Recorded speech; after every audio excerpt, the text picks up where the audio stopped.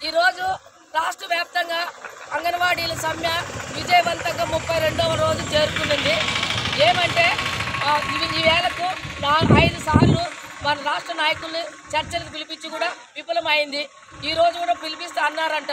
ఈరోజు రోజు పిలిపించి తీపి కబురు మాకు రావాలని మేము ఆశిస్తున్నాం లేని పక్షంలో మా సమ్మెను ఇంకా పెద్ద ఎత్తున మేము తారా స్థాయికి తీసుకుపోతాం. మాకు న్యాయం జరిగేంత వరకు మేము వెనకడుగు వేసేది లేదు.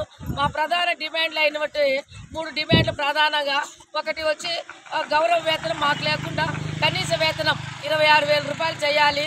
అలాగే మినీ వర్కర్స్ను మెయిన్ వర్కర్స్గా గుర్తించాలా?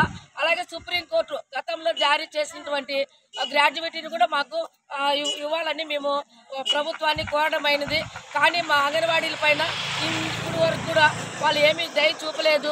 కనీసం మాకు సానుకూలమైన చర్చలు కూడా మాకు స్పందించలేదు.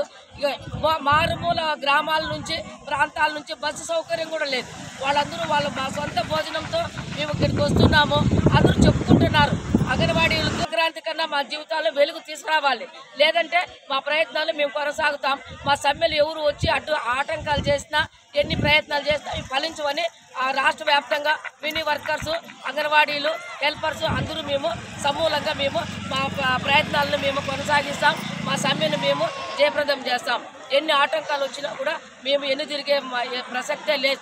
కాబట్టి దయచేసి ప్రభుత్వం కూడా మరలా ఒక్కసారి స్పందించాలి. ఆలోచించాలా?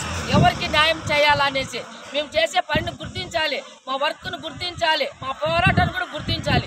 ఉత్తుత్తిగా మేము చేయడం లేదు ధర్నాలు. సమ్మెలు కొనసాగించడం లేదు. మేము న్యాయమైన ప్రధానమైన డిమాండ్ల కొరకు ఈరోజు మేము ఇక్కడ గలం ఇప్పాల్సి వస్తుంది. రోడ్డును పడే పరిస్థితి వస్తుంది. గవర్నమెంట్ ఏమన్నా ఊరికే సైలెంట్గా ఉన్నారు. ముఖ్యమంత్రి గారు రావడం లేదు. చర్చలకు సలహాదారులు పంపిస్తున్నారు. ఆ సలహాదారులు కూడా వాళ్ళు తెలుసు మేము ఎంతవరకు చేస్తున్నామని. కానీ వాళ్ళు ముఖ్యమంత్రి గారికి చెప్తున్నారో లేదో మాకు డౌట్గానే ఉంది అనుమానాస్పదంగానే ఉంది. ఇవేం చెప్పింటే స- సరైన సమస్యలు మా గురించి చెప్పింటేనా నిజాలు చెప్పింటే ఈరోజు మనకు ముఖ్యమంత్రి గారు కూడా వచ్చేవాళ్ళు. వచ్చి మాకు న్యాయం చేసేవాళ్ళు. దీన్ని బట్టి తెలుస్తుంది ఏమంటే మా గురించి సక్రమైన వార్త ప్రభుత్వానికి అందించలేదు. సలహాదారులు కానీ మిగతా అధికారులు కానీ అంతే తప్ప ఉక్కు పాదం మీద తొక్కాలని చూస్తున్నారు. ఇది ఎప్పటికీ కూడా ఇది మంచి పద్ధతి కాదని మేము తెలియజేస్తున్నాం.